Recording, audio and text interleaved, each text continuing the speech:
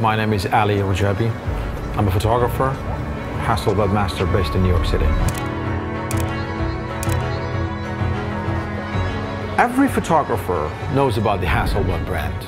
Every photographer, no matter if they are an amateur, enthusiastic, or professional.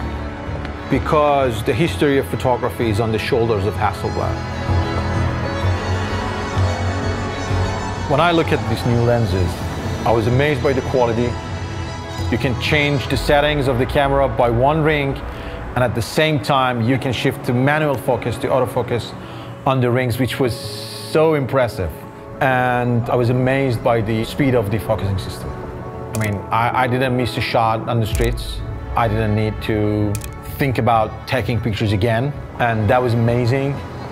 I really liked about the camera, which is very interesting for me as a street photographer who sometimes take pictures in low light, is IBIS.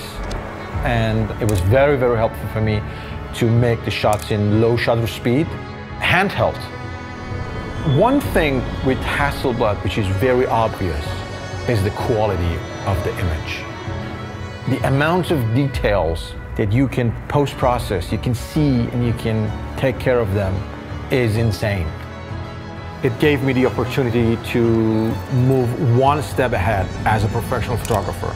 And also, it gave me the opportunity to explore a different type of camera, which is quietly different with the other brands in terms of producing a high quality image. So it was all joy for me.